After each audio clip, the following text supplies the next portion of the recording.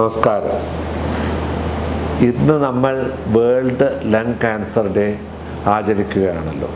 എല്ലാ വർഷവും ഓഗസ്റ്റ് ഒന്നാം തീയതി ആണ് ഈ ദിനം ആചരിക്കുന്നത്. രണ്ടായിരത്തി പന്ത്രണ്ട് മുതൽ ഇത് ആചരിക്കുന്നുണ്ട്.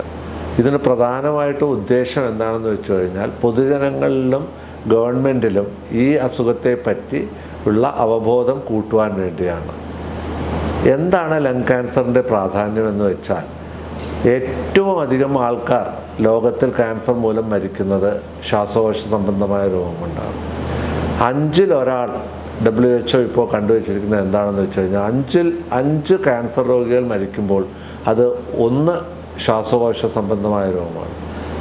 ഇത് നേരത്തെ വികസിത രാജ്യങ്ങളിലായിരുന്നു കൂടുതലായിട്ട് കണ്ടത്. ഇപ്പോൾ സാധാരണ എല്ലാ രാജ്യങ്ങളിലും ശ്വാസകോശ സംബന്ധമായ രോഗം ഈ ക്യാൻസർ കൂടുതലായിട്ട് കാണും. ഈ സാഹചര്യത്തിലൂടെ കടന്നു പോകുന്നവർ അവർക്ക് വിട്ടുമാറാത്ത ചുമയോ ചുമയ്ക്കുമ്പോൾ രക്തം വരികയോ വളരെയധികം ക്ഷീണം തോന്നുകയോ തൂക്കക്കുറവ് അനുഭവപ്പെടുകയോ ചെയ്യുകയാണെങ്കിൽ അസഹ്യമായ വേദന നെഞ്ചുവേദന ഉണ്ടാവുകയാണെങ്കിൽ അല്ലെങ്കിൽ ഈവൻ എല്ലുകൾക്ക് വേദന ഉണ്ടാവുകയാണെങ്കിൽ പോലും ഡോക്ടറെ സമീപിക്കുകയും തുടർ പരിശോധനകൾ ചെയ്യേണ്ടതുമാണ്.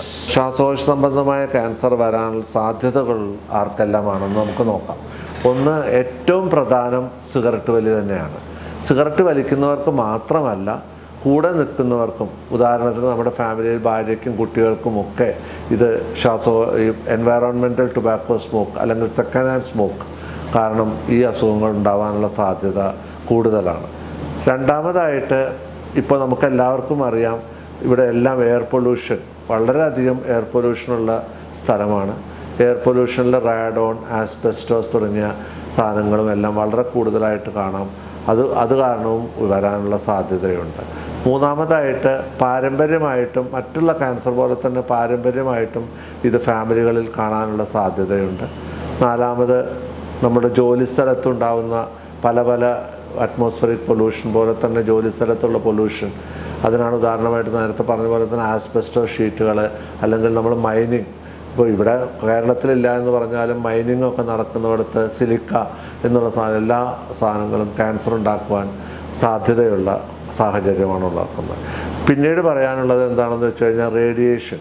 നമ്മുടെ അറ്റ്മോസ്ഫറിക് നമുക്കറിയാം എല്ലായിടത്തും റേഡിയേഷൻ ഉണ്ട്. അത് ലങ്സിനെ ഫൈബ്രോസിസ് കുറച്ച് ഫൈബ്രോസിസ് ഉണ്ടാക്കാം. അതിൽ നിന്നും ക്യാൻസർ വരാം. അതിനേക്കാളും പ്രധാനം നമ്മുടെ നാട്ടിൽ എല്ലാവർക്കും അറിയാം ടി ബി പോലെ ഉണ്ടാ ടി ബി പോലെ ലങ്സിലെ ഫൈബ്രോസ് ഉണ്ടാക്കുന്ന അസുഖങ്ങൾ ക്യാൻസറിന് ഒരു പ്രീഡിസ്പോസിങ് ഫാക്ടറാണെന്നുള്ളത് പ്രത്യേകമായിട്ട് നമ്മളെല്ലാവരും ഓർക്കേണ്ടതാണ്.